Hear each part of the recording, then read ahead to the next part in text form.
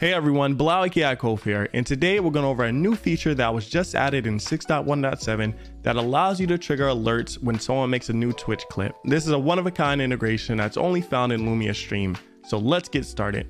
So we'll go to Lumia Stream, we'll make sure Twitch is connected, and then we'll go to Alerts, Twitch, and then you'll see Clip right here.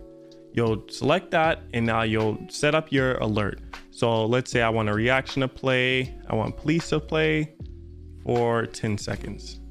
And I also want text to speech to play. So I'll just enable that as well as a chat bot.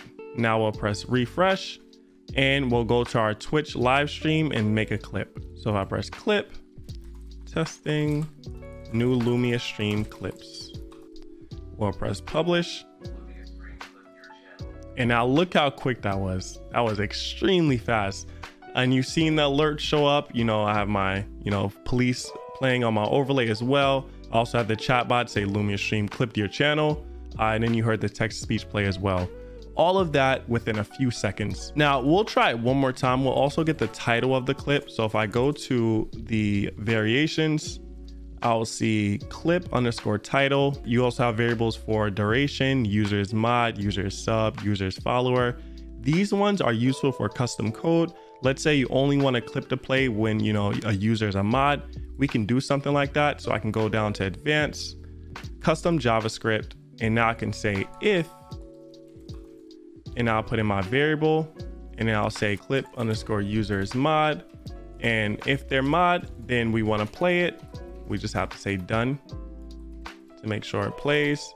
But if they're not a mod, I'll say else, and I'll say done should stop to true. So should stop just means that the, you know, the alert will not play. It's going to stop the alert if the condition does not evaluate the true. And that's it. That's all of our code right there. So if clip user is mod, we'll press done. If they're not a mod, then we should stop true. I'll press save and press done.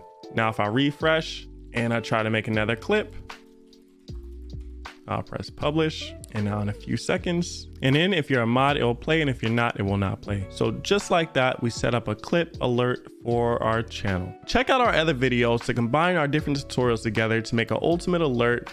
And make sure you like, comment, and subscribe. And we hope you all have a luminous day.